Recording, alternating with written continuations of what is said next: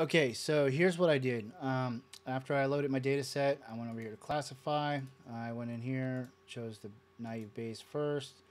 Made sure the class was selected, started that up. Then I went back up here to lazy, which you probably already know this. And then I went in here, changed that KNN to 5.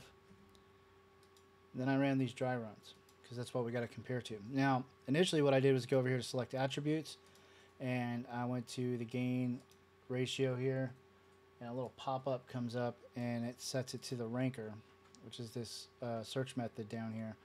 And then I clicked on the ranker and I set that to 20 now if you do it this way um, well actually I got to select the class that was wrong. There we go.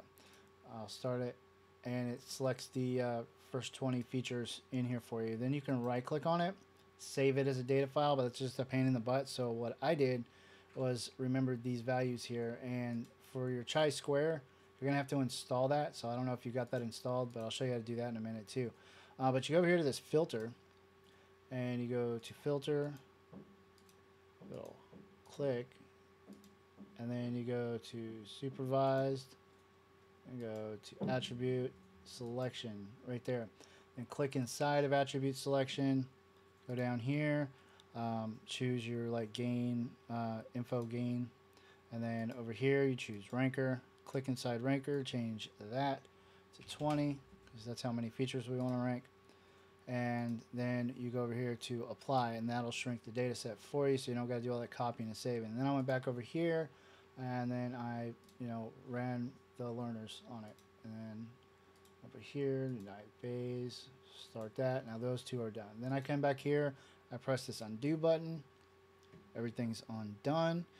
Then I went back into my attribute selector here, changed that to the chi-square and made sure that was still on 20. So I'm good there.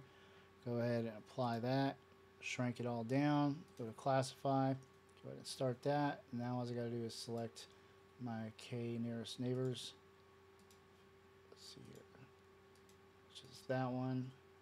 Select inside, change that K nearest neighbors to 5.